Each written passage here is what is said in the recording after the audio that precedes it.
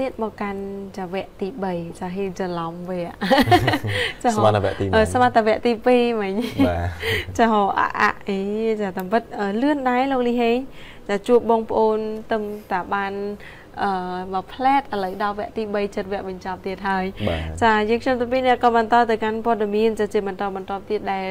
អឺកំពុងតែកើតមានប៉ុន្តែមុននឹងឈានទៅដល់រឿងរ៉ាវផ្សេងទៀតសូមលើកឡើងតាក់ទងជាមួយនឹងរឿងរ៉ាវដែលល្បីនៅក្នុងបណ្ដាញសង្គម Facebook ដែលអឺលោកគ្រូ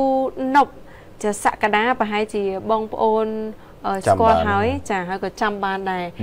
ឈ្មោះគាត់ពិតនប់សក្តាហើយឈ្មោះដែលហៅហ្នឹងគឺគ្រូផេះគ្រូអង្កាមបាទចានៅតែបន្តធ្វើវិធីដោះអំពើបំពេញទៅនឹងកិច្ចសន្យារបស់សមត្ថកិច្ចទៀតដែលកាលពីដំបូងឡើយកិច្ចសន្យារបស់ខាងសមត្ថកិច្ចលោកមិនអោយអនុវត្តទៅតាមអធិស្ឋានមិនអោយធ្វើរឿងរ៉ាវដែលអឺវាខុសនឹង ប្រពៃណីវប្បធម៌អីទៀតនោះទេប៉ុន្តែគាត់នៅតែបំពេញចាធ្វើម្ដងហើយម្ដងទៀតបំពេញកិច្ចសន្យាដែលនេះហើយបងប្អូនដែលគាត់អ្នកលេងបណ្ដាញសង្គម Facebook គាត់លើកឡើងម្ដងហើយម្ដងទៀតជុំវិញទៅនឹងបញ្ហានេះគាត់ថាទោះបីជាជាប់ពន្ធនាគារពាក់ព័ន្ធទៅនឹងការប្រើប្រាស់អាវុធខុសច្បាប់ការពីអំឡុងខែមិថុនាឆ្នាំ2024លោកនប់ចាសក្តាហៅគ្រូផេះគ្រូអង្កាម ចាក៏បានចេញនៅវីដេអូសុំទោសចាក៏ដូចជាបញ្ឈប់នៅការបង្ហោះវីដេអូក៏ដូចជាសកម្មភាព ការទស្សទាយសាក់យ័ន្តចាស្រោចទឹកដោះអំពើដែលនាំឲ្យប៉ះពាល់ទៅដល់សន្តិភាពសេចក្តីថ្លៃថ្នូរសង្គមតាមរយៈបណ្ដាញសង្គមនានាហើយបើសិនបើរូបលោកនៅតែបង្ហោះរូបភាពទាំងនោះទៀតសុខចិត្តទទួលខុសត្រូវចំពោះមុខច្បាប់ជាធរមានប៉ុន្តែបន្ទាប់ពីចេញមកវិញចាធ្វើវីដេអូសុំទោសជាសាធារណៈហើយ ដូចជាគ្រប់យ៉ាងវាផ្ទុយស្រឡះវិញចាដោយកាលពីថ្ងៃទី9ខែវិច្ឆិកាឆ្នាំ2024គឺមាន page Facebook ដែលមានឈ្មោះថាលោកតាភ្នំធំលោកតាធំចាភ្នំគូលែនក៏បានបង្ហាញពីសកម្មភាពរបស់លោកនប់សក្តានៅតែបន្តធ្វើពិធីដោះអំពើដដែល ចាគ្រូទាយជាច្រើនអ្នកដែលត្រូវបានមន្ទីរធម្មការចោះធ្វើការអប់រំនិងធ្វើកិច្ចសន្យាគឺបានបញ្ឈប់ការផុសវីដេអូអស់ហើយប៉ុន្តែនៅតែអឺវីដេអូចាគ្រូផេះគ្រូអង្ការនោះទេដែលនៅតែបន្តចាធ្វើជាបន្តបន្តទៀតដែលផ្ទុយទៅនឹងកិច្ចសន្យាដែលបានធ្លាប់ធ្វើកាលពីពេលកន្លងមក ដែលបន្ទាប់ពីឃើញការចែកចាយវីដេអូនេះច្រើនជាបន្តបន្ទាប់ហើយមហាជនក៏កំពុងតែរងចាំ ចាថាតើសមត្ថកិច្ចនឹងមានវិធានការបែបណាចំពោះលោកនប់សក្តាដែលនៅតែធ្វើពិធីបំពេញចំពោះកិច្ចសន្យានាពេលកន្លងមកនេះចាព្រោះបើយើងមើលទៅវាដូចជាអត់សូវល្អភ្នែកការដែលដោះអំពើឬសាក់យ័ន្តណាមួយរបស់ពួកគាត់នេះវាដូចជាពេលខ្លះវាអត់ ត្រូវដឹងថាថាគួជឿយ៉ាងម៉េចចាលោកលីហេប៉ុន្តែនៅតែសរសើរអ្នកជឿមានអ្នកជឿបាទសរសើរអ្នកជឿអ្នកទៅរកគាត់ដំអំពើអញ្ចឹងជាមួយចុះពីណាបាទកន្លងទៅគឺតាក់ទងរឿងបាញ់បាទកាន់កំភ្លើងកាន់អីបាញ់នោះបាទដែលបងប្អូនគាត់ share តាមរយៈបណ្ដាញសង្គមមកច្រើនប៉ុន្តែដូចជារយៈពេលខ្លីណាបាទខ្លីខ្លីដែរស្រាប់តែចេញមកវិញហើយក៏ធ្វើវីដេអូសុំទោសអីចឹងទៅឥឡូវនេះក៏ចេញមកទៀតបាទហើយក៏មានគ្រូជាច្រើនទៀតដែលនៅតាមអនឡាញណា ដាក់ស្នេហ៍ដាក់ស្នូងអីចឹងទៅចាឃើញដែរមានគ្រូជប់សម្រស់ឲ្យកាលពី25ឆ្នាំមុនមកវិញអីចឹងទៅនៅតែមានអ្នកជឿបាទចឹង sunscreen អីគេលេងប្រើអស់ហើយបាទបាទ skin care គេលេងប្រើអស់លក់លេងដាច់ហ៎លក់លេងដាច់ហ៎ទៅរកទៅគ្រូទៅបាទផ្លុំតែពី3ស៊ីតហ្នឹងក្មេងឡើងវិញក្មេងឡើងវិញត្រឡប់ទៅរកកូនកាលពី18ឆ្នាំចាខ្ញុំមកបើសិនជាជប់ចឹងបានខ្ញុំជប់ចង់ខ្លាចជា ក្មេងវិញព្រោះយើងនៅក្មេងយើងអត់គិតអីហ្នឹងចាដឹងតែសប្បាយបាច់យក8 10អីទេយក3ឆ្នាំហ្មងបើចេះរត់លេងចេះហូបបាយដើរលេងហូបបាយដើរលេងហ្មងចាបាទប៉ុន្តែគាត់ថាគ្រូខ្លះបាទគឺ យើងមិនទៅចង់និយាយថាប្រកែកជាមួយអបិយជំនឿរបស់បងប្អូនទេបងប្អូនចង់ជឿគឺជារឿងរបស់បងប្អូនព្រោះជំនឿខ្លះមកដល់ពេលបច្ចុប្បន្នស្បីតែខ្ញុំក៏ជឿដែរចាបាទអត់មានបងប្អូនណាផ្ដាច់ពីជំនឿទាំងស្រុង100%យើងខ្ញុំគិតអញ្ចឹងបាទហើយគ្រាន់ថាពេលខ្លះជំនឿខ្លះគឺវាដូចជាអត់សមហេតុផលឬក៏ជំនឿខ្លះវាមិនត្រឹមតែមិនសមហេតុផលទេវាប៉ះពាល់ទៅដល់សេចក្តីថ្លៃថ្នូររបស់សង្គមថែមទៀតបាទដូចជាគ្រូខ្លះ ដែលទៅមានមាននារីនារីក៏ទៅឲ្យត្រូវឲ្យបង្ហាញសាច់បង្ហាញអីចាយន់ចាអីនៅខ្លួនហ្នឹងណាបាទគឺវាធ្វើឲ្យប៉ះពាល់ដល់សេចក្តីថ្លៃថ្នូរក៏ដូចជាសិលធម៌សង្គមខ្លាំងមែនទែនហើយឥឡូវនេះគឺផុសតាមរយៈបណ្ដាញសង្គមទៀតហើយខ្ញុំមកដឹងថាអ្នកដែលគាត់ជឿនឹងយ៉ាងម៉េចទេពេលខ្លះទៅអាចថាអ្នកដែលជឿនឹង គាត់រកក្តីសុខឲ្យខ្លួនឯងអត់បានខ្ញុំគិតអញ្ចឹងហ្មងបាទបើសិនជាគាត់គិតថាគាត់មានសមត្ថភាពគ្រប់គ្រាន់ឧទាហរណ៍ណាគាត់ត្រូវធ្វើការងារបំពេញអីបំពេញអីគាត់អត់ទៅរកជំនួយថែមទេចា៎បាទប៉ុន្តែអ្នកខ្លះទៀត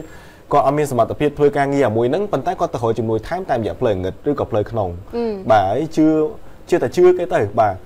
គេប្រាប់ថាបានសម្រេចបានអីចេះជាទៅតាមគេប៉ុន្តែគ្រាន់ថាបើសិនជាថាគ្រាន់តែជាការទៅបន់ស្រន់នៅកន្លែងណាមួយកន្លែងស័ក្តិសិទ្ធិណាមួយណាវាមិនមានអីខាតទេបើប៉ុន្តែសួរថាទៅរកគ្រូ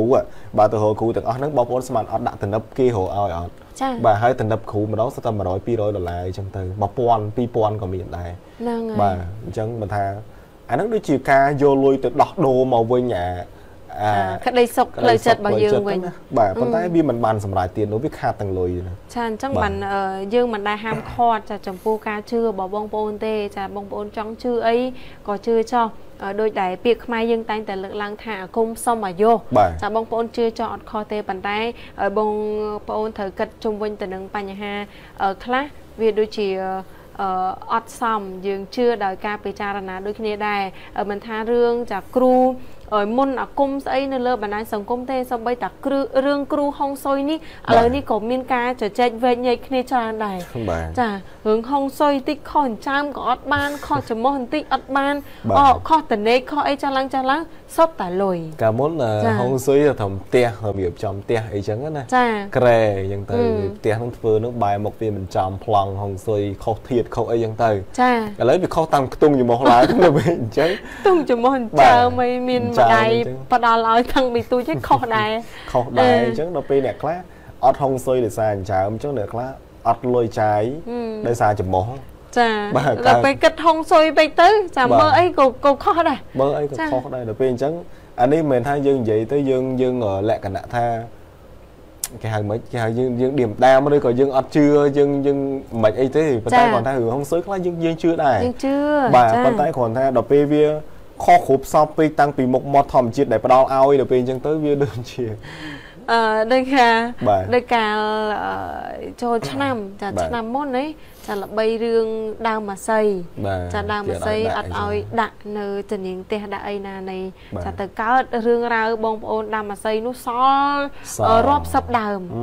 បាទដល់ពេលអញ្ចឹងវាប៉ះពាល់ទាំងបងប្អូនអ្នកដែលគាត់លក់ដូរស៊ីនឹងទៀតចាបាទចុះគាត់អត់អត់បានដឹងអីផងគាត់កំងមកលក់ធម្មតាដោយរាល់ឆ្នាំធម្មតារាល់ឆ្នាំដាច់នោះចាបាទដល់ពេលឆ្នាំហ្នឹងស្រាប់ចិត្តដល់ថ្ងៃសែនគេប្រាប់ថាខុសហុងស៊ុយមានណាសល់ទាំងអស់ សល់ទាំងអស់បាទចាបងប្អូនឃើញរឿងខ្លះវាអត់ចំណេញបាទវាអត់ចំណេញទៅវាអត់ចំណេញចឹងហើយយើងក៏លើកឡើងម្ដងហើយម្ដងទៀតទៅដល់បងប្អូនឲ្យជឿចាដល់ការពិចារណាអរគុណឥឡូវនេះយើងបញ្ចប់ព័ត៌មាននេះយើងក៏លេចទៅមើលព័ត៌មានមួយទៀតតកតងជាមួយនឹងអាជ្ញាធរចានៅក្នុងខេត្តកំពង់ឆ្នាំងក៏បានចោះចាត់វិធានការនិងពិនិត្យចារាល់ថ្ងៃករណីដឹកលៀសចានៅតំបន់ឆ្នុកទ្រូ ដែលក្រោមការយកចិត្តទុកដាក់របស់អាដាមសុនសវណ្ណរិទ្ធចាអភិបាលខេត្តកំពង់ឆ្នាំងនិងជាគណៈកម្មការគណៈបញ្ជាការចាឯកភាពខេត្តហើយយោងទៅតាមការណែនាំរបស់រដ្ឋបាលជលផលខេត្តកំពង់ឆ្នាំងនៅល្ងាចថ្ងៃទី26ខែវិច្ឆិកាឆ្នាំ2024លោកអ៊ូសុផាន់ចានីរងខណ្ឌរដ្ឋបាលជលផលខេត្តកំពង់ឆ្នាំងក៏បានសហការជាមួយនឹងកម្លាំងសង្កាត់ ចាជលផលបរិបូរក៏បានចោះធ្វើការបង្ក្រាបនិងពិនិត្យជាក់ស្ដែងនៅការប្រមូលទិញនិងដឹកផលលៀសចាប់ពីសំណាក់ឈ្មួញនៅចំណុចចាប់ពីមាត់កំពង់ឆ្នុកទ្រូចារហូតទៅដល់មាត់ទឹកសាលាឃុំឆ្នុកទ្រូឆ្នុកអធិស្ឋានស្ថិតនៅក្នុងឃុំឆ្នុកទ្រូស្រុកបរិបូរខេត្តកំពង់ឆ្នាំងហើយលោកអ៊ូសាភ័ណ្ឌក៏បានបន្ថែមថា លោកក៏បានដឹកនាំកម្លាំងជំនាញនឹងចុះពិនិត្យនៅទីតាំងខាងលើនឹងរាល់ថ្ងៃតែម្ដងដោយសង្កេតឃើញថាការប្រមូលផលលីសចានៅតំបន់ឆ្លុកទ្រូគឺបានចូលរួមចាអនុវត្តតាមការណែនាំរបស់រដ្ឋបាលជលផលមួយចំនួនធំចាបានន័យថាលៀសដែលប្រមូលផលបាននេះគឺជាប្រភេទលៀសផ្សារគឺមានទំហំត្រឹមត្រូវទៅតាមច្បាប់ជលផលដែលបានកំណត់គ្រាន់តែកន្លែងខ្លះ គឺបារ៉ែលមិនបានលាងសម្អាតបារ៉ែលឲ្យបានស្អាតល្អលោកនាយរងខណ្ឌក៏បានបន្ថែមថា ចំពោះចាការនេសាទលៀសប្រជាប្រដ្ឋគឺអាចប្រើប្រាស់កម្លាំងម៉ាស៊ីនត្រឹម24សេ24សេះចុះក្រោមចានឹងមានក្រឡាកញ្ច្រែងរែងលៀសគឺចាប់ពី2ហ៊ុនកន្លះទៅ3ហ៊ុនទៅអនុញ្ញាតចាឲ្យធ្វើការនេសាទដែលឡែកចំពោះរថយន្តដែលមកប្រមូលទិញលៀស គឺត្រូវបានប្រមូលផ្ដុំគ្នានៅជើងកំពង់ឆ្នុកទ្រូចាជុំគ្នាគឺមិនអនុញ្ញាតឲ្យទៅលើកលៀសនៅកន្លែងទីតាំងផ្សេងនោះទេដើម្បីងាយស្រួលទៅដល់ជំនាញរដ្ឋបាលជលផលចោះត្រួតពិនិត្យជារៀងរាល់ថ្ងៃចានឹងចំពោះលៀសវិញគឺត្រូវតែរែងសម្អាតឲ្យបានស្អាតល្អហើយបើយោងទៅតាមសេចក្តីណែនាំខាងលើនេះចាប្រជាពលរដ្ឋនេសាទក៏ដូចជាបងប្អូនជាអ្នកប្រមូលទិញលៀសទាំងអស់ហ្នឹងក៏បានអនុវត្តគ្រប់គ្រប់គ្នាចាបើមិនអនុវត្តទេសមត្ថកិច្ចនឹង ចាត់ការទៅតាមនីតិវិធីតែម្ដងដោយសារតែកាលពីពេលកន្លងទៅ សមត្ថកិច្ចក៏បានចុះធ្វើការបង្ក្រាបចាទីតាំងដែលប្រមូលផលលីសនេះចាច្រើនមែនទែនដែលខុសទៅនឹងច្បាប់ដែលរដ្ឋបាលជលផលបានជម្រាបជូនដំណឹងឲ្យអ្នកឈ្មួញហ្នឹងគាត់ រកលៀអ្នកខ្លះគាត់រកខុសលក្ខណៈបច្ចេកទេសចាវាធ្វើឲ្យលៀសហ្នឹងវាផុតពូជតែប៉ិតនេះខ្ញុំទៅតែដឹងថាលៀសផុតពូជដែរលោកលីហេងឥឡូវនេះមានលៀសចិញ្ចឹមផងអីផងដូចដូចគ្រប់សពបែបយ៉ាងបាទតែប៉ុន្តែបើសិនថាការខាត់នេះដើម្បីរក្សាទី1គឺកុំឲ្យវាផុតពូជដោយសារតែលៀសខ្លះ អានេះវាមិនខុសពីត្រីដែរបងប្អូនដល់ពេលបងប្អូនក៏ស្ដាប់ទៅសំបីតាលៀសហ្នឹងក៏តឹងតែងម្លេះបាទប៉ុន្តែគ្រាន់តែបើសិនជាការនេសាទហ្នឹងអត់ត្រូវលក្ខណៈបច្ចេកទេសឧទាហរណ៍ណាវាបានអាល្មិចល្មិចអាទូចទូចនេះទូចទូចទូចបាទយកទៅសួរថាទៅលក់អីគេចេញ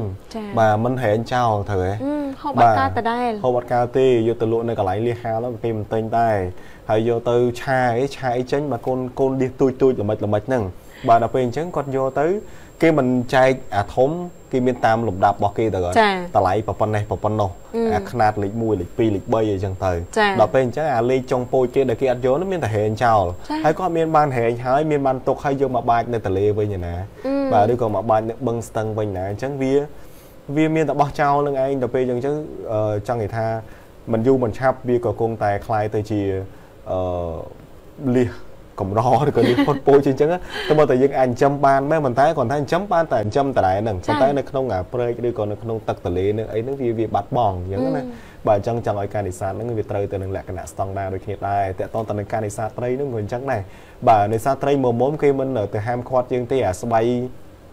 កាឡាធំធំល្មមដែលគេកំណត់ឲ្យណាប៉ុន្តែបងប្អូនខ្លះគាត់ដាក់អាញឹកមែនតើដល់ពេលអញ្ចឹងវាដោយតែអាកូនត្រីតូចធំអាកើតមកអាពូជត្រីធំទេប៉ុន្តែកូនវាតូចណាបាទដល់ថ្ងៃក្រោយទៅវាអាចคล้ายទៅត្រីធំនេះវាធំមិនតាន់ទេវាងាប់បាត់ទៅហើយជាប់នៅកាឡាមងកាឡាញឹកអីនឹងឯងហើយមងអួនបងប្អូនខ្លះនេះគឺសុទ្ធតែរាប់គីឡូម៉ែត្របាទដល់ពេលអញ្ចឹងទៅចង់មិនចង់វានឹងផុតពូជថ្ងៃក្រោយទៅប្រភេទត្រីមួយចំនួនដូចជាត្រីទឹកសាបអីហ្នឹងគឺបងប្អូនក៏លេងស្គាល់អស់ហើយឥឡូវហ្នឹងបាទ បងប្អូនជំនាន់ក្រោយក៏លេងស្គាល់ត្រីអីត្រី